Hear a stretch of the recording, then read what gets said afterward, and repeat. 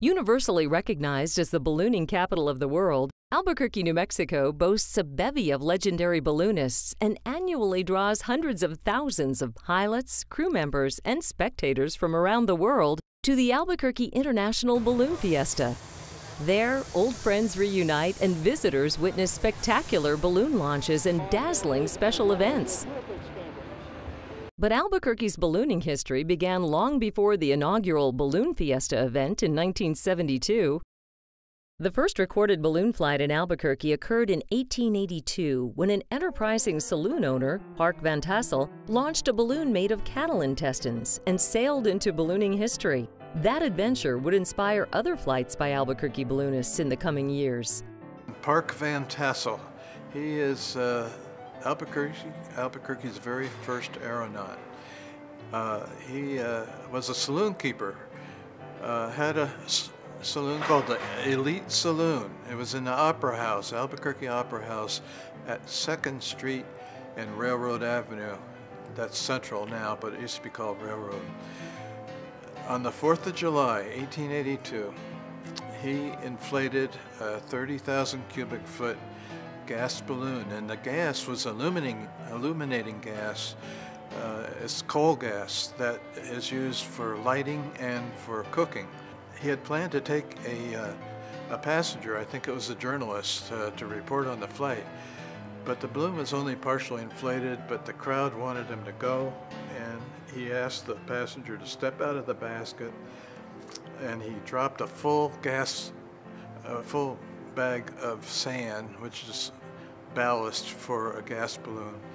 Uh, he kind of panicked actually. He, you don't usually drop a full bag right away, uh, but he did, and he hit a, a, spectator on the head, who later sued. But the balloon did take off, and uh, it went way up. It went up to 14,200 feet, where you have trouble breathing, not much oxygen up there. And so he panicked and he opened the vent and he came down really hard. Uh, he landed in a cornfield in uh, Old Town, uh, but it was a successful flight. This fellow went on to become a world famous balloonist, but he started right here in Albuquerque. And he went all over the western states doing parachute jumps from balloons and uh, other balloon flights, distance flights, uh, all over the west coast, out to Hawaii to Australia, to Southeast Asia, uh, Africa, Europe, um, all over the world. He was the first Albuquerque balloonist. And so, in a way, he took ballooning from Albuquerque to the rest of the world. And now the rest of the world comes here to Albuquerque. Balloon fever would not take hold, however, until 90 years later. When another enterprising Albuquerque resident, Sid Cutter, threw together a ballooning event to commemorate the 50th anniversary of KOB radio. I mean, the whole reason for the first balloon fiesta was KOB. It was their 50th birthday. And somebody at KOB said something to Tom Rutherford, who was still at KOB, hey, you know, we should do some sort of party for our 50th. And so they decided to do something at Coronado Center. And they had discovered that Sid Cutter had a balloon in town. And so Tom contacted Sid and said, can you bring your balloon out? You know, we're going to have this party. And maybe you could get a few friends. And so the conversation, according to Sid and Tom, went, well, yeah, I could probably get a few balloons. I wonder what the largest gathering is. And it was somewhere on the order of 20 or 19, I don't remember which. And Sid made arrangements for 21 balloonists to bring their balloons to Albuquerque and set them up. Now, it's April, and so due to some storms in Chicago and some shipping issues, only 13 of those 21 actually made it to Albuquerque for that first fiesta. So we didn't have the largest gathering, but it was certainly one of the largest with 13. So there's 13 balloons. I mean, you get 13 balloons out on the West Mesa uh, any weekend day now. But back then, 13 balloons was a very big deal. I was out of town, but my wife and kids were in town. They were actually hiking the La Luz Trail on that Saturday morning looked back in Albuquerque and here were these strange, colorful things flying in the air. So the next day, they went out to the Coronado Center, which is where it was held, to see what was going on. So my wife and kids and a couple of friends of my kids, they actually were at the very first one. When I got home on Sunday evening, I found out what I had missed. Said that we had about 20,000 spectators. Nobody ever counted, uh, but uh, the estimate is about 20,000. And everybody was overwhelmed that we would draw that many people. They expected a couple hundred people to come out to see these 13 balloons. Tommy Rutherford, who was there, part of KOB, even says, I brought about 200 passes to let people out by the balloons. When he got there and they realized there was not 200 people, but 20,000 people there, he says he just threw the passes in the back seat of his car and gave up on it. And APD had sent one guy on horseback, one of the horse patrol out there to try to to try to coordinate this whole thing. And also there's like 20,000 people out there. And all of the balloonists are sitting there with their jaws dropping at, oh wow. By the following year, Cutter landed the World Balloon Championships to complement what would become the second annual Balloon Fiesta. The seed had been planted. Sid Cutter was a visionary, he was an idea guy, and he was also a do guy. You know, how many of us have great ideas, but we don't know how to implement the ideas? Or some of us are great implementers, but we don't have a creative bone in our head. But Sid was all of that. Oh. Sid was an aviation pioneer. He, what I remember about Sid is he was very outgoing, cheerful, uh, always accommodating. Uh, and we look back on Sid now as the father of modern hot air ballooning in Albuquerque. Yet the profound impact Cutter would have on ballooning in Albuquerque might never have happened if he hadn't decided to throw a party in 1971 to promote his company and celebrate his mother's birthday. Sid Cutter had a birthday party as an event for his company, his aviation company, and needed to decorate a hangar. And so needed something big and bought a balloon to be the centerpiece of his decorations. And then went out and flew it and fell in love. And that one act evolved. The one balloon floating away into the sky and people running after it and being entranced by it. And that multiplied in Albuquerque into two and three and four and 10 and 20 and a hundred and hundreds. And the critical mass of that became sufficient to provide the expertise to support an event like the Balloon Fiesta. And that, that really has changed Albuquerque permanently. Sid Cutter was the person that, who got me going on that road of friendship and fun. I and hundreds, maybe thousands of people have Sid Cutter to thank for that. Cutter went on to build the infrastructure for future events, forming the Quad A Ballooning Club to train pilots and build expertise in the field. And he moved the event to the more hospitable month of October in 1975. But the fiesta remained on shaky financial ground for the first few years. Getting a bunch of uh, crowds together and spectators and balloonists volunteer to come and fly, that was never a problem. The problem was the money. Who's going to pay for this? Sid Cutter told me one time that he had spent his own personal money, and it may very well have been company money, but he said it was personal money, uh, in the neighborhood of $300,000 to put on the second one and the third one, which is why he said, I can't do this anymore. Sid Cutter uh, formed a corporation and ran the first three balloon fiestas. And as he famously said, yes, I know there's money in ballooning because I put it there. It didn't turn out to be a very good business enterprise. After putting on the World Championships in 1975, there was a conversation with the city between Sid and other folks about we can't sustain this. We need some sort of organization to take this project on and to become a year-round organization to put the, the time, the effort, the money into making Balloon Fiesta a reality for Albuquerque. And Mayor Kinney recognized that this was something worth saving and formed a citizens committee to help put on the Balloon Fiesta. And in the next year, that evolved into what is now known as Albuquerque International Balloon Fiesta Incorporated which is the permanent organization that runs the fiesta. Um, that happened in large part because of Harry and because of some of the people that he recruited to continue the fiesta.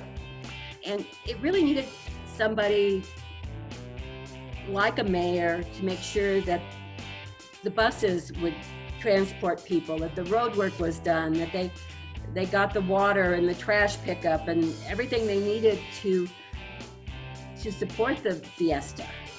After there was AIBF incorporated, uh, that's when we began to realize that maybe from a financial standpoint we could make it.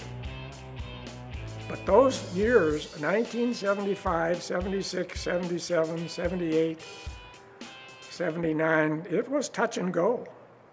By the 1980s, organizers began to breathe a little easier. The spectacle that graced Albuquerque skies was now on solid ground. And by the early 1980s, we were pretty positive that we were going to make it you know, the Fiesta has always been a big thing uh, in my life. I mean, I, I can remember, um, you know, being in school and counting down the days to, you know, when Fiesta would be, you know, having a calendar and marking off each of the days. Uh, so it's always been a big deal to me. Um, I've always known that it was, you know, so, so amazing. And any balloonist in the world knows that Fiesta is something that you have to attend at least once in your flying career. It's like the mecca of ballooning. You have to make that pilgrimage to Albuquerque if you're a balloonist to, to have said you've flown Albuquerque because that's what everyone does. Um, and the amazing part is that so many of those foreign pilots or pilots around the country, uh, they continue to make that uh, migration to Albuquerque every October because uh, you can't get away from it. It's, uh, it's such a neat event. I think it was probably in the late 80s, early 90s that it really started to become maybe an internationally recognized big deal. I mean, it, was, it always has been in the ballooning community, but it's now internationally known, um, and it's not a big deal just in the ballooning world, but if you look at the big events around the country, you know, things like the Kentucky Derby, the Indianapolis 500, the Tournament of Roses, uh, the Rose Parade. You know, the Balloon Fiesta gets mentioned in the same breath as these big events. I don't think I ever took the time to think about, wow, this could really be big. Um, if there is one of those moments, it might be when I realized that as many people watched us on social media, on Balloon Fiesta Live, as we had bodies on the field that year. So to know that, to look at the crowds and say, wow, that's a lot of people out there. And then to realize there's that many more watching us online for what, it, what you know, it's like, wow this thing really is huge. Two, one, flicker burn. There we go. With innovative events like the Balloon Glow and Special Shapes Rodeo, the Fiesta evolves with every passing year. And with each new Fiesta, spectators and balloonists alike walk away with a multitude of memories. One of my most memorable ones, I was chief launch, and it was the first year we went to a thousand balloons. We actually launched a thousand balloons for a couple of years. Um, and I was chief launch that year, so that was a big challenge. And I was, obviously very nervous because I had to expand the launch director group from about 40 people to about 90 people in order to accommodate this. Um, and so, yeah, there was a lot of training that went on. There was a lot of, um, we ha- it was a whole new field. This first year we moved to this field. So it, there was a lot of change. And that morning I got up and uh, got up onto the tower and there was Tom Selleck. so I got to meet Tom Selleck. It was like, wow. but we got, we got all 1,000 balloons off the ground safely. From the early days, for me, it was always about the balloons. Uh, always loved the balloons. It was probably only a couple of years after I first volunteered out here with balloons. I started crewing for some folks, and then I ended up full time on a balloon crew. And it was always about the balloons and the crew, the people that you met, the people that you dealt with, and the teamwork and the friendships that you built. And those have continued to build over all of the years. Um, yes, it's gotten bigger, it's gotten smaller as far as the number of balloons, but the circle of friends continues to grow. If I were to pick, uh, yeah, one uh, Fiesta, uh, a, a, memory would be with uh, uh, winning the America's Challenge gas balloon race with my wife, uh, Tammy. She's also a gas balloon pilot as well as a hot air pilot, and we we landed up in the the wilds of Canada. Um, in the uh, America's Challenge gas balloon race. Uh, we went further than anybody, but also uh, we went so far that we had to be uh, rescued by helicopter. Um, it was uh, we were up in the woods, 75 miles past the last road, and uh, had to be picked up by helicopter and have the balloon pulled out by helicopter as well. So, an expensive memory, but a, a good one. one of my favorite flying stories was. Um, we were, in those days, you could land, as long as you were legal, you could land in a big field, change passengers, and take off again. And I landed in a field that was one of the city golf parks up in the Northeast Heights, and, uh, and then took off. And so, of course, when you take off, you're pretty close to the ground until you gain some altitude. We took off um, and I had a, a very close friend uh, who was the passenger that day. and we took off, and we were immediately only uh, 50 feet off the ground, maybe 75 feet off the ground, uh, going over a residential area. And here was a, here was a, a house with a, with a second story porch on it. And a, a man, bare naked, came out on that porch, looking around trying to see what was going on because you could hear the balloons. He looked up, saw us, realized he was naked, grabbed the curtain, pulled the curtain down across his body, uh, said a few uh, words that we're not allowed to repeat on the video, and of course, we were gone. All that took, what, five seconds? Can you imagine the story that guy told? Oh, Dad must have been running for mayor.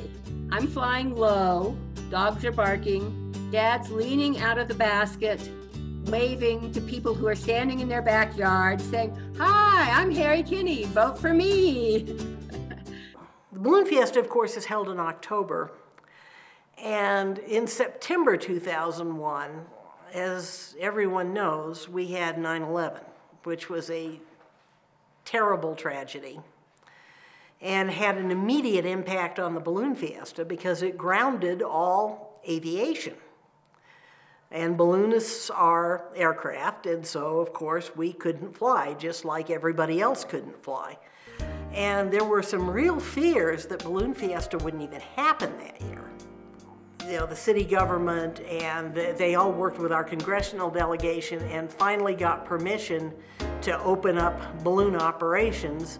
So we came out and, and had a balloon fiesta, and, and it was a real catharsis, I think, for everybody, but especially for my my, my little group of friends that I was ballooning with at that point a lot of my crew people were from New York.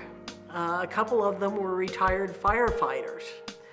Um, they knew a lot of people that were killed at the Twin Towers. Um, another crew member of mine uh, works in financial services. She knew 108 people that were killed in, in the uh, collapse of the World Trade Center. Um, so it had been a very traumatic few weeks. And so Balloon Fiesta became this big catharsis. It was something we could actually do to say, okay, you guys, this is not going to defeat us.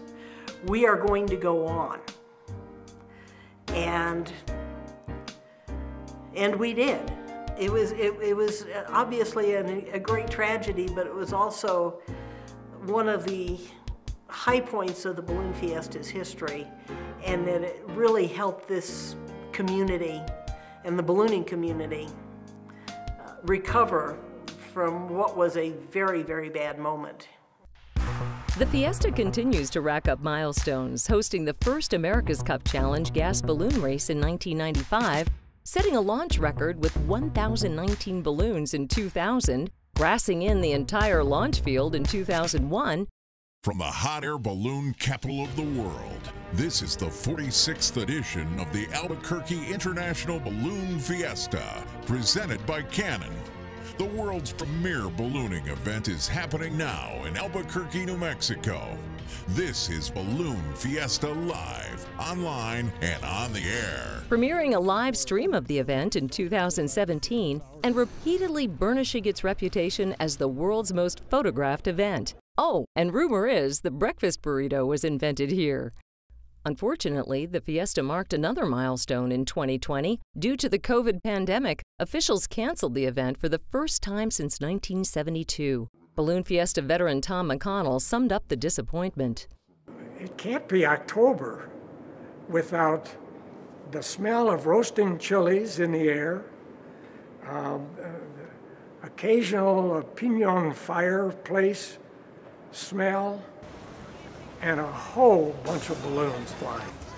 It just doesn't seem right that we have October and we don't have Balloon Fiesta.